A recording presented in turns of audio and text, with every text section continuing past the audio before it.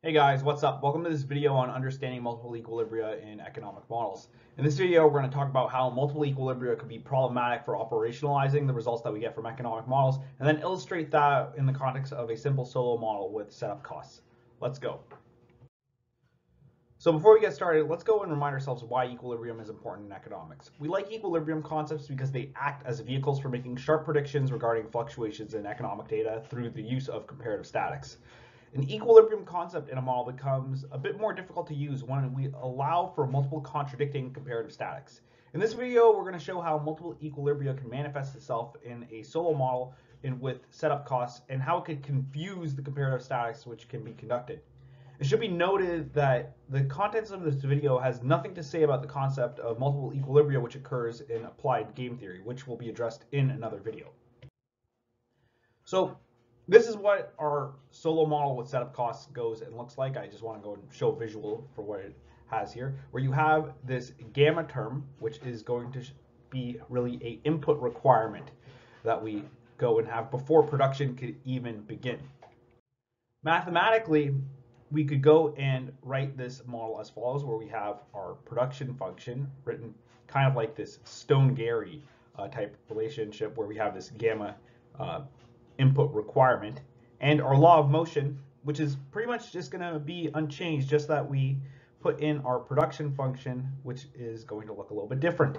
Um, but if you look at our steady state, and that's going to be where k is equal to k prime, k prime being the capital stock in the next period.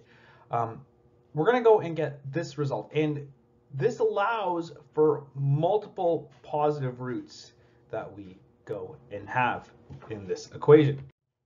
Now, to go and see where these equilibria are, right, for capital stocks, we're going to see that this is where our savings curve, right, is going to go and intersect with our uh, capital depreciation line. That's what we're going to have. So we're going to have a low equilibrium denoted by KL star and a higher equilibrium denoted by KH. And this is all brought into existence from the fact that there are setup costs. In this situation, the likelihood of occurrence of one equilibria over another depends on your initial capital stock that you go and have. So you could be either drawn to KH star or KL star, depending on what your initial capital stock is going to be. So that's something that you want to go and keep in mind.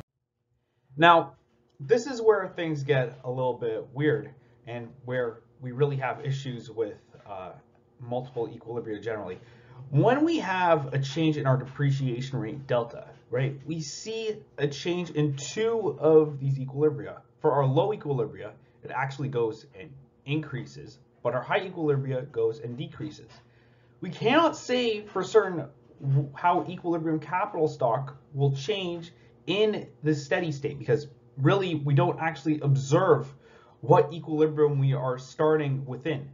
The problem with this is that when we look at data, right, we could go and make incorrect statement regarding changes in our economic variables and how that could impact other variables.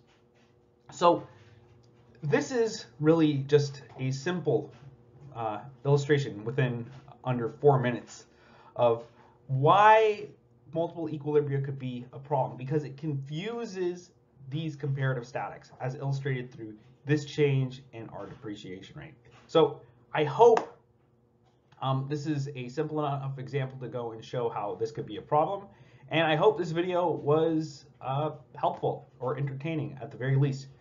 Thank you so much for watching this video. Take care.